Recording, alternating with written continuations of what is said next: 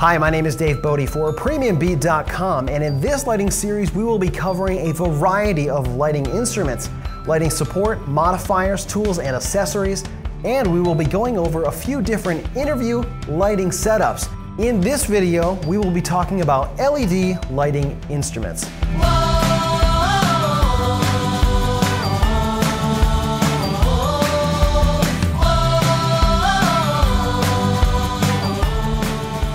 LED lighting instruments are relatively new to the world of video production. LEDs can produce nearly all colors of light, but white is what we'll be dealing with here. A single LED is a hard light, but the majority of LED lighting instruments are made up of an array of LEDs, sometimes using over 1,000 or more. This results in an array of microshadowing as each LED casts a shadow. Sometimes this is a problem and sometimes it isn't depending on how you are using the light. LEDs are also quite efficient and because they run on fairly low voltage direct current, they can use batteries. They can also last for several thousand hours, sometimes up to 10,000, but you will see a color shift over the life of the LED. The durability and power efficiency makes them extremely valuable for run and gun shooting, where you don't have a lot of time to set up power and are constantly on the move.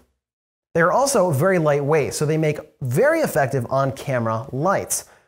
Although there are many benefits of LED lighting, they do suffer from color issues in all but the highest end instruments. This will change over the next 10 years as the cost of production of high quality LED lamps drops. Right now, most of the lower cost LED units we'll need some minus green filtration just to get them in the neighborhood of looking reasonable. Because of this, they are not my go-to light of choice for lighting up people, but I do use them for a lot of other things. This is a very cheap battery-operated on-camera style LED light. This particular light has 160 LEDs and has a reasonable output that is variable with a dimmer. A good number of these units will be battery powered only, but some will have the option to plug in a DC power source. This light is pretty directional, and most of the LED lights out there have a fairly narrow beam angle. I often will use this light with a minus green filter to correct for the green color cast and or a diffuser filter to get a wider spread of the light. This light works really well for an on-camera light, especially when it's not cranked up to maximum output. Depending on the batteries and the actual LED you are using, you can get anywhere from one and a half to three to four hours with a little loss of power towards the end. They will usually go a little bit longer after that, but they slowly dim down. I use this light frequently as a hair light for interviews, and they are really useful for adding a highlight to an object in a scene. Its small size means you can hide it behind things very easily. In general, these types of high number LED array lights do not get hot. They'll get warm, but not hot. Higher power units may generate more heat, but they usually will have a way to dissipate the excess. Another one of the instruments I use is this 900 LED unit. It runs off a power supply, but can be battery operated as well. I bought this light specifically for a project that I did in Asia because I needed something very rugged and that had enough punch for doing interviews in brightly lit spaces. This light and the smaller LED light worked well and provided enough output to get me through the interviews. This larger light is basically a much larger version of this light. It has more LEDs, so it has more output. And just like this light, this LED 900 light has a lot of micro shadowing, which can look really terrible if it isn't diffused. Again, I use this light with a minus green filter to correct the color cast, and that works pretty well. I also wanted to point out here, after I add the minus green filter, I throw on a diffuser panel to the front here. This cuts the light output, but also makes the beam much wider. And right here, I'm showing you that the micro shadowing is pretty much gone. You only really get a big drastic microshadowing effect when objects are really close to an LED source with multiple LEDs. The further you get away from the LED, the less noticeable the microshadowing effect is. The barn doors that you see here are not super useful at cutting the light. I would normally take them off, but they do a good job of protecting the LEDs when it's traveling.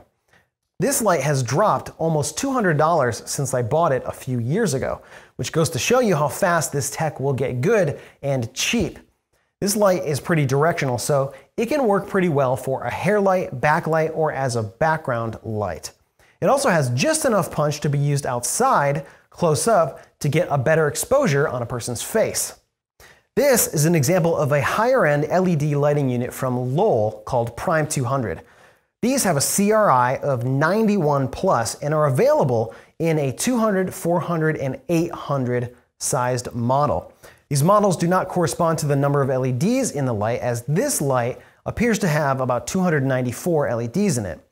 All of these models are available in tungsten or daylight color and have a beam angle of 50 degrees. Although it was built for the studio, it is definitely rugged enough for travel. The Prime LEDs are DMX dimmable and have fanless cooling. You can get a barn door softening set for a bit of softening and edge control as well. And they have a honeycomb grid for increased control over spill. Lowell provides beam and performance data on their site, so you will know if the output of this light will suit your needs. Although these are not color mixing systems, you can alter the color temperature around 1 to 200 degrees by changing the DMX settings. This may help critical color balance to other light sources. You can also use a standard gel filter for a more drastic change. These LEDs are very useful tools. If you have a unit with excellent color like this Lowell Prime, you can use it as you would any other quality lighting instrument. The other lights are still useful, but sacrifices have to be made if you want to use them as a key or fill, as the color isn't quite there. They are useful for a number of other applications where you need to splash color on a background or highlight an object. They will also work well as a hair light or a kicker with some corrective filtration.